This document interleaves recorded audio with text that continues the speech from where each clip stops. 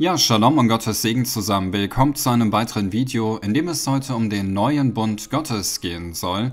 Wir Christen leben ja im neuen Bund, nicht im alten aaronitischen Bund und Priestersystem, weswegen wir uns mal anschauen wollen, was sich für uns Christen in diesem neuen Bund geändert hat. Und dazu wollen wir auch einen Blick werfen auf den ein oder anderen alten Bund, denn einige Bündnisse haben ja aufeinander aufgebaut sozusagen. Wir lesen im ersten Buch der Bibel in Genesis 6, Vers 18 und Kapitel 15, Vers 18 über Noah und Abraham folgendes. Aber mit dir, nämlich Noah, will ich meinen Bund aufrichten, und du sollst in die Arche gehen, du und deine Söhne und deine Frau und die Frauen deiner Söhne mit dir. Acht an der Zahl. An jenem Tag machte der Herr einen Bund mit Abraham, mit Abraham, und sprach, deinem Samen habe ich dieses Land gegeben. Hier sehen wir also, dass Gott einen Bund geschlossen hat. Zunächst mit Noah, mit Abraham, dann mit Moses und so weiter. Also es gibt nicht nur ein oder zwei Bündnisse sozusagen, aber was wir hier sehen, unter anderem, dass Abraham und seinem Samen, ihm und seinem Samen wurde das Land gegeben und es wurde prophezeit, dass seine Nachfahren, sein Same, dieses Land, unter anderem Israel, erben soll. Und wenn wir uns mal anschauen, was im Neuen Testament steht, wer diese Sa dieser Same Abrahams ist heute, da lesen wir in Galater 3, Vers 29, wenn ihr aber Christus angehört, mit anderen Worten, wir Christen, so seid ihr Abrahams Same und nach der Verheißung Erben. Wer wird also das heilige Land erben? Die Christen, weil wir Christen Israel sind. Wir gehören zum Haus Israel. Und das ist wichtig, wenn wir uns dann nachher noch den neuen Bund anschauen, denn Gott hat ja nie einen Bund mit Heidenvölkern geschlossen, in dem Sinne, dass er mit ihnen einen Bund gemachte wie mit Israel oder hier wie mit Abraham oder Noah. Und das schauen wir uns direkt im nächsten Buch an, in Exodus Kapitel 31, Vers 16. Da heißt es, so sollen die Kinder Israels den Sabbat halten, indem sie den Sabbat feiern für alle ihre Geschlechter als ein ewiger Bund. Das heißt, egal welche Bündnisse dann noch kommen, der Sabbat ist ein ewiger Bund, ein Bestandteil, der nicht aufgehoben werden wird. Wir wissen, Jesus hat den Sabbat geheiligt, alle Apostel, die meisten Christen, bis dann Kaiser Konstantin kam. Und wir wissen, dass auch im Königreich Gottes der Sabbat von allen Menschen auf der Welt, auch den Heidenvölkern, geheiligt wird.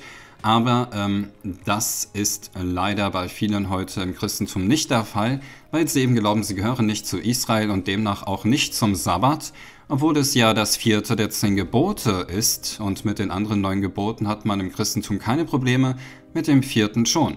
Schauen wir uns an, was geschrieben steht über diejenigen, die nicht Israels Blutlinie entsprechen, was für sie gilt. In Jesaja 56, Vers 6 heißt es, und die Fremdlinge, die Nicht-Israeliten, die Heidenvölker sozusagen, die sich dem Herrn anschließen, wie wir Christen, um ihn zu dienen und den Namen des Herrn zu lieben und um seine Knechte zu sein und alle, die darauf achten, den Sabbat nicht zu entheiligen und die an meinem Bund festhalten, die will ich zu meinem heiligen Berg führen und sie in meinem Bethaus erfreuen.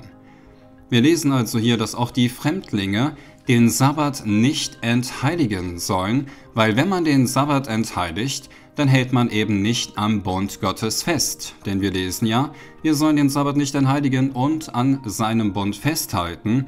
Das galt damals und das gilt auch heute, aber schauen wir uns mal an, was man damals gemacht hat, denn dasselbe ist leider heute im Christentum größtenteils auch der Fall. Im Psalm 78, Vers 10 und in Jesaja 24, Vers 5 heißt es, Sie bewahrten den Bund Gottes nicht und weigerten sich nach seinem Gesetz zu wandeln. Kommt uns bekannt vor, das Christentum lehrt ja auch das Gesetz abgeschafft und so weiter und so fort. Denn das Land liegt entweiht unter ihren Bewohnern, denn sie haben die Gesetze übertreten, die Satzungen abgeändert, den ewigen Bund gebrochen.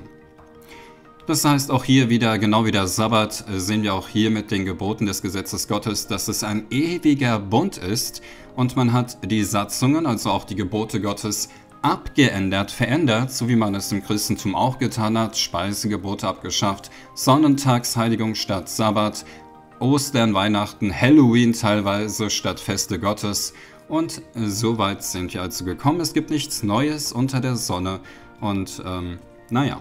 So ist es leider.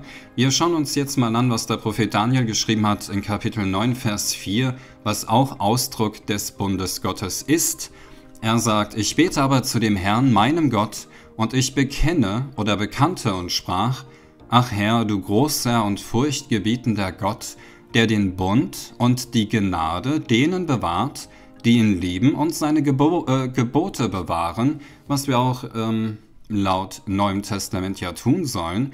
Und hier sehen wir also, dass die Gnade Gottes und der Bund, den Gott mit seinem Volk aufgerichtet hat und aufrichten will, mit jenen, die ihm noch nicht beigetreten sind, für die gilt, die Gott lieben und seine Gebo äh, Gebote bewahren, und das ist, wie gesagt, heute leider nicht bei allen Christen der Fall. Also schauen wir uns mal an, was sich im neuen Bund geändert hat nach und nach und vor allem auch für wen der neue Bund denn gilt.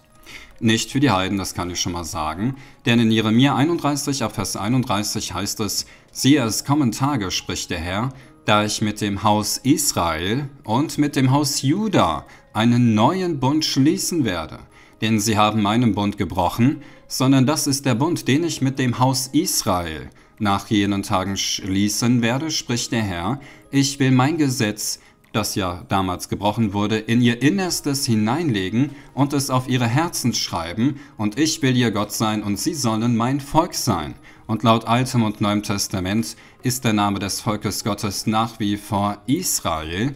Daran hat sich nichts geändert, deswegen der neue Bund gilt für das Haus Israel. Das heißt, die Christen, die sagen, die Teil des neuen Bundes sind, gehören, ob sie es wissen oder nicht, ob sie es wahrhaben wollen oder nicht, zum Haus Israel, aber zu keiner Religion und zahlreichen Konfessionen, die mit dem Volk Gottes leider mit diesem Namen nichts zu tun haben wollen. Aber wir schauen auch ins Neue Testament und schauen uns mal an, was es da mit dem neuen Bund auf sich hat. Laut Hebräer 8 ab Vers 7, denn da heißt es, denn wenn jener erste Bund tadellos gewesen wäre, so wäre nicht Raum für einen zweiten gesucht worden. Denn er tadelt doch, indem er zu ihnen spricht, siehe, es kommen Tage, spricht der Herr, da ich mit dem Haus Israel und mit dem Haus Juda einen neuen Bund schließen werde. Denn sie sind nicht in meinem Bund geblieben, sondern das ist der Bund, den ich mit dem Haus Israel schließen werde. Nach jenen Tagen spricht der Herr, ich will ihnen meine Gesetze in den Sinn geben und sie in ihre Herzen schreiben, und ich will ihr Gott sein, und sie sollen mein Volk sein. Hier wird also bestätigt und zitiert aus dem Alten Testament, was den neuen Bund sozusagen ausmacht. Es soll ein neuer Bund gemacht werden, in dem die Gesetze, die damals ja, auf, auf Steinen geschrieben wurden, beziehungsweise auf Papier, und in steinernde Herzen leider keinen Ein Eingang gefunden haben, weil man die Gebote nicht halten wollte, diese sollen jetzt eben in unsere Herzen geschrieben werden, damit wir im Glauben an Jesus die Gebote Gottes halten, weil wir auf jeden Fall den Messias auf unserer Seite haben und das Evangelium, die Erlösung, was im Alten Bund wegen dem alten Priestertum ja nicht der Fall war. Wir bleiben im Hebräerbrief und kommen in Kapitel 10 ab Vers 14 an, da schauen wir uns auch an, was geschrieben steht, nämlich, denn mit einem einzigen Opfer hat er, nämlich Jesus, die für immer vollendet, welche geheiligt werden. Das bezeugt uns aber auch der Heilige Geist, denn nachdem zuvor gesagt worden ist, das ist der Bund, den ich mit ihnen schließen will nach diesen Tagen, spricht der Herr, ich will meine Gesetze in ihre Herzen geben und sie in ihre Sinne schreiben. Also erneut auch in diesem Kapitel wird vom neuen Bund geredet. Von Jesus Christus deswegen gibt es jetzt auch einen Unterschied zwischen altem und neuen Bund, aber eben nicht, was die Gebote des Gesetzes angeht, denn den sollen wir nach wie vor halten, sogar mehr und in mehr Hingabe zu Gott durch Jesus Christus als im alten Bund. Zusammengefasst, auch wenn es mehrere Punkte gibt, könnte man sagen, der alte Bund, das beinhaltet das Priestertum nach Aaron, das aaronitische Priestertum.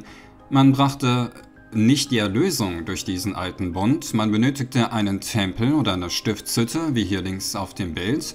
Man brauchte Tieropfer, die notwendig waren, aber das Halten der Gebote Gottes, wie Sabbat und so weiter, war auch Bestandteil des alten Bundes. Der neue Bund, das ist die Priesterschaft laut Neuem Testament der Weise Melchisedeks. Dieser Bund bringt die Erlösung durch Jesus Christus Man benötigt keinen Tempel mehr oder eine Stiftshütte, weil wir laut Bibel ein Tempel Gottes sind, in dem der Heilige Geist wohnen soll. Tieropfer sind unnötig, weil Jesus das Lamm Gottes für unsere Sünden gesühnt hat am Kreuz.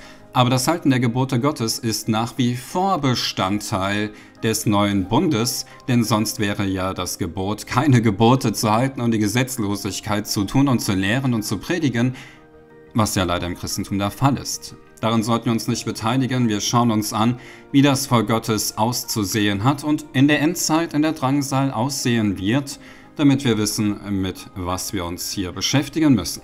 Im 1. Johannesbrief Kapitel 5 Vers 3, in Offenbarung 12 Vers 17 und in Kapitel 14 Vers 12 heißt es, Denn das ist die Liebe zu Gott, dass wir seine Gebote halten und seine Gebote sind nicht schwer. Wie wir im Alten Testament beim Alten Bund gesehen haben, die Liebe zu Gott, die Gnade bewahrt Gott denen, die ihn lieben und seine Gebote halten. Nichts hat sich geändert. Und der Drache Satan wurde zornig über die Frau, das Volk Gottes, und ging hin, um Krieg zu führen mit den übrigen von ihrem Samen, welche die Gebote Gottes befolgen und das Zeugnis Jesu Christi haben. Hier ist das standhafte Ausharren der Heiligen, hier sind die, welche die Gebote Gottes und den Glauben an Jesus bewahren. Einige bewahren nur die Gebote Gottes, wie die meisten Juden, die nicht an Jesus glauben, und die meisten Christen, die bewahren vielleicht den Glauben an Jesus, aber nicht die Gebote Gottes. Am Ende wird zusammenkommen, was zusammen gehört, so wie das Alte und Neue Testament. Denn es gibt nur einen Gott und der ändert weder sich noch seine Gebote, nur eben die Priesterschaft hat sich geändert, aber nicht der Sabbat oder die Feste Gottes. Deswegen halten wir auch am neuen Bund Gottes fest, indem wir an Jesus glauben und die Gebote halten, denn das ist auch etwas, was Jesus uns gelehrt hat und daran sollten wir festhalten, denn die Wahrheit kommt ans Tageslicht, der Sohn Gottes, der König der Könige Jesus Christus und laut Bibel die Gebote des Gesetzes Gottes, die laut Heiliger Schrift alle die Wahrheit sind. Amen, bleibt gesund und Gott segne euch.